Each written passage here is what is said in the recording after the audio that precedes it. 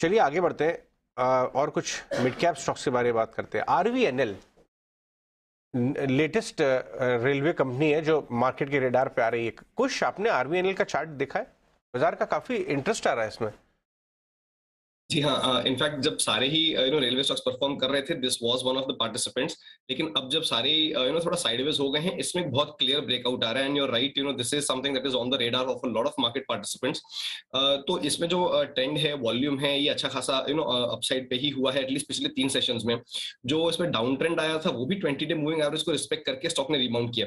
तो कहीं ना कहीं इसका जो ट्रेंड था, वो इंटैक्ट ही था, बस साइडवेज हो गया था you know after the sharp run that we saw in the last quarter of you know last year तो इसको आप बिल्कुल अपने रेडार पे रखें। बजट में भी एक्सपेक्टेशंस काफ़ी हैं रेलवे सेक्टर के लिए। तो ये ट्रैक्शन में तो बिल्कुल रहेगा up until you know the budget यहाँ पे अगर आप फ्रेश एंट्री लें तो इसका जो रिसेंट हाई था 84 का, ये आपके लिए एज अ टारगेट एक्ट करेगा।